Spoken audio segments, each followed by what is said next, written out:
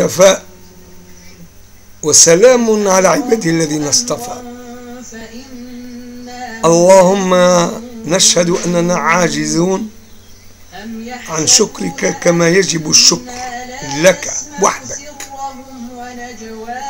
ونعلم أن من لا يشكر الناس لا يشكر الله. لأن يعني ربنا سبحانه وتعالى أكد أن هل جزاء الإحسان إلى الإحسان؟ وأن لا تبخسوا الناس أشياءهم. ونحن أمة أخير الأمم بلفظ القرآن العظيم وهو قول رب العالمين كنتم خير أمة أخرجت للناس تأمرون بالمعروف وتنهون عن المنكر وتؤمنون بالله أين نحن من هذه الصفات الحميدة؟ أين نحن؟ وين الأمة؟ وين الأمة؟ الحمد لله فما جماعات الله يبارك فيها وقوي يسعدها ويد بها إلى نصر المبين.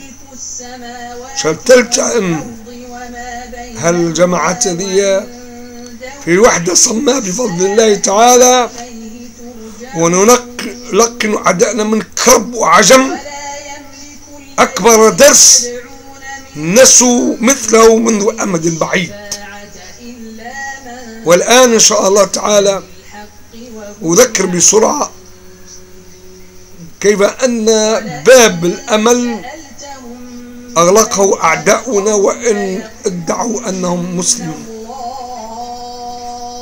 وإن ادعوا باب الأمل لرب سبحانه وتعالى نشير أن أنه لا يأس من روح الله للقوم الكافرون. وهل معهم روح المسلمين وأكفر كفار؟ لأن النعمة نازلة بالليل والنهار وهم بقبحهم وسوء مكرهم وفساد حالهم. يصعد العمل الخبيث. إلى الرحمن. يصبر يصبر ولكنه حين يضرب فلا يخطئ. ولا يخاف عقباه ربي. هل أمل لدي حتى في الطب قل الشرق والغرب؟ حتى كدنا أن لا نسمع ونرى أن هناك من معجزات في الشفاء.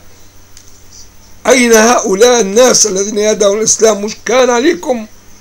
أنتم تكونوا عناصر بعث الأمل في الخلق. شبيخ يعني مش نعمل لله مش نعمل للإنسان هذاك الكافر أو الصهيوني. ما هي منطقة إنسانية أي الطب لابد أن نحرك كل ما عندي من قوة إرادة حتى يصلوا هؤلاء إلى هؤلاء المحرومين يصلهم بصيص من الأمل وحين يتعرفوا عليه هكا يقضوا عليه قل وهذه التفافة التي ستخلصنا. لبوي سوفتاج. الحلقة التي حين يمسك بها وإن كان حجمها خفيف. قصير صغير لكن هو يعتبرها طوق نجاة. لماذا لا يكون هذا في الأطباء الذين يدعون الإسلام؟ لماذا كيف يدخل عليهم واحد يلقاهم مهدودين أكثر منه؟ هو مهدود. هو وعائلته والأصحاب اللي جابوه. ليش؟ لأن هلكتهم مطالب الدنيا. والناس مش شبعانة. هم هم. بالغم بالغم. لي ولكم. لا. قام لك مسلم. فيق على روحك. لا يأتي من المسلم إلا الخير. وحسن الظن بالله رب العالمين. وابعث الناس فرحة الحياة. حياة الأبية الكريمة. هدوهم رؤساء الكلاب. والملك الخونة هدوا شعوبهم. لكن الهد ذاك تمضر في سورة أمراض مستعصية على العلاج. أدعوكم وبكل صدق أن تنظروا لأنفسكم إلى حالكم وتحلوا هذه الحال وتتعرفوا أنفسكم أنكم لستم من الناس الفائزين عند رب العالمين. إلا أن تتوبوا وترجعوا لعهودكم والقسم اللي قمتم به قبل ما تاخذوا شهادة براكسيس تطبيق براكتايز أرجو لمضمون الشهادة تاعكم سيرمون ديبوكرات ولا غيره ما يهمنيش. المفيد أنت ما قدمت وليت عندك حق باش تمارس مهنة الطب مهنة إنسانية فاضلة. وهي صمم أمل للشعوب وهي ضامنة لتقهقر الأدواء والضعف والوباء. والعياذ بالله أنتم وين؟ حسوا علاقتكم بالله وزهدوا بالدنيا يا ناس. الغنى غنى النفس. والقليل فيه الكثير من بركة الرحمن الرحيم. ما كنتش متهنين أنتم أنتم un cas pathologique lamentable كنتش متهنين يشبعكم شيء. حتى كان يجيكم إنسان هكا يتجرى شوية يقول لك يا خويا راني والله تسلفتوا ولا بعت. أشياء ضرورة بالحياة. بعته باش جيتك. يقول لك أما تحطهم خمسين ولا اقلب. وهذا قليل ولا ولات قبل ما يدخل لازم يكسكيهم. أين أنتم من الإسلام؟ أنت تحصلوا قولوا اسمع مسبق. هذا باش نناقش معاك ما عنديش وقت. ثم قدري مش من قدرك. هذا ليس من الإسلام. تواضعوا يا ناس. ولو نفخ مشتر حتى في يفلقكم يهزكم لجهنم. وبئس المصير وبئس المصير. كلمة وجيزة أقول الذين أشركوا على اليأس من رحمة الرحمن وهذا لا يجوز ولا يسأل روح روح ربنا إلا القوم الكافرون الجاهلون اللامبالون بمصيرهم. قولوا لهم أرجو ربكم وأعملوا شوية من وقتكم تدرسوا فيه موضوع الأمل في الله وكيف يأتيكم شفاء من الله حين تكونوا في مستوى إرضاء الله.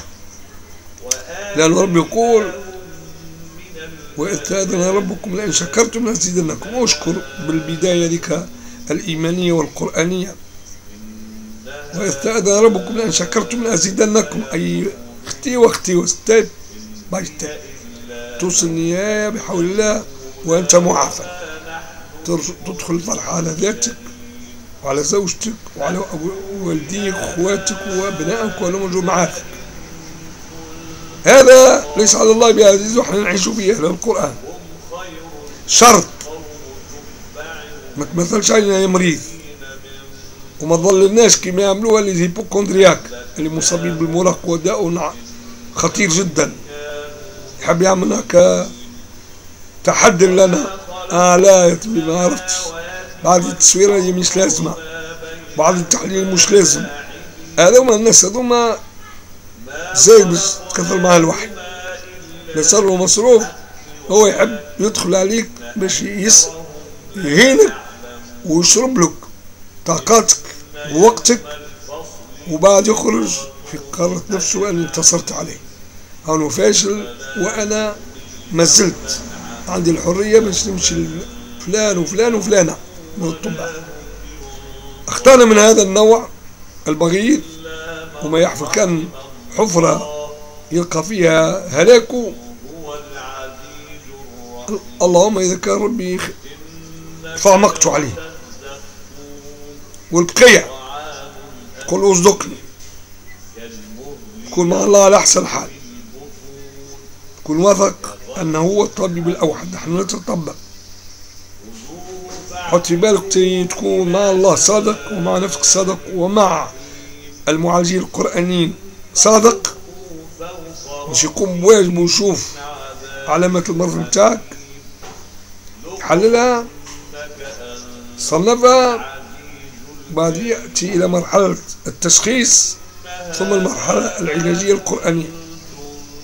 إذا كان أنت تتبع فيه وأنت مؤمن أن الله هداك إلى سبل الخلاص من هذا المرض وأخطر من هذا المرض.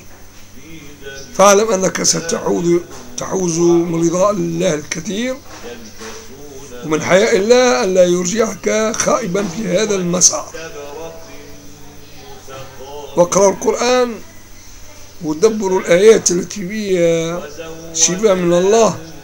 سواء كان سيد إبراهيم لم ينجب فأصلح له زوجة. سيدنا زكريا كذلك. إصلاح أول لانفرتيليتي ستيريليتي هي داء وضال لكن وقت يا ربي أنت تزيد تقدم تقرب منه يعرف ليش كافك وربي يستحي أن يرجعك خاوية اليفاض. ما ترجع إلا بالخير أكثر مما كنت تتصور. ولا عشنا والله شهيد على ما نقول.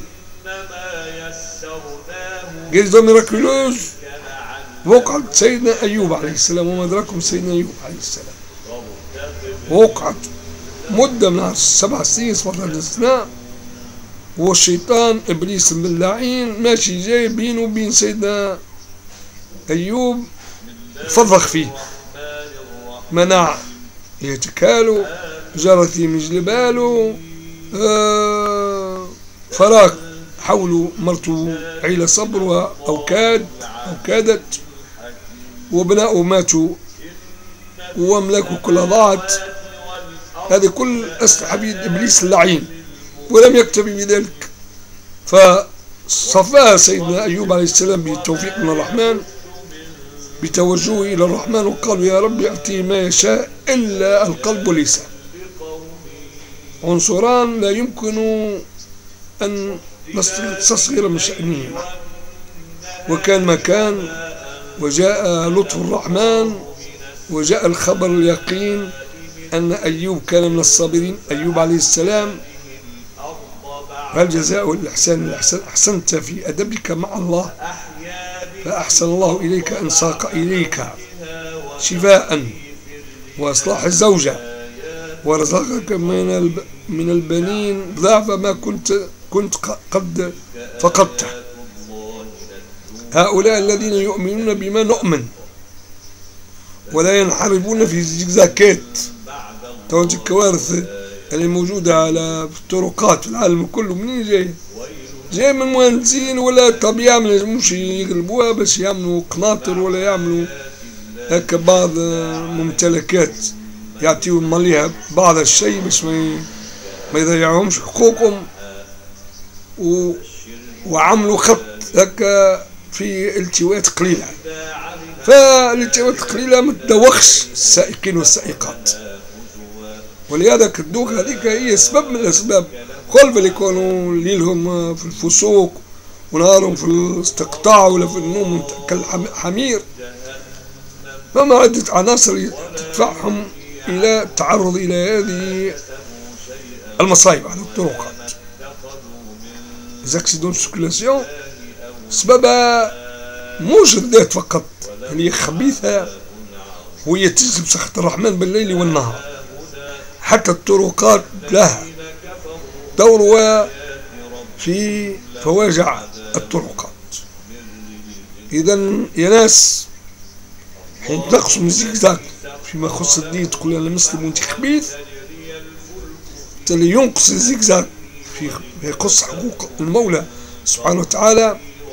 الله وقت يسخر لكم مهندسين فيهم نوع من الاستقامة والوفاء والصدق والأمانة. ما يكفيكم شهور الطرقات اللي هي اليوم مقبرة بالليل والنهار. ولا فائدة في تطويل الحديث لأنه لي العقل فيكم فهموا المقصد. أن لا نيأس من روح الله. وروح المولى سبحانه وتعالى إذا كان صفيتوا حسابكم هنا مش تلقاه في جنة الخلد؟ كما ورد في آخر سورة الواقعة فأما إن كان من المقربين فروح وريحان وجنة نعيم والسلام على من اختار الهدى وكان من المؤمنين الخالصين لرب الأرض والسماء.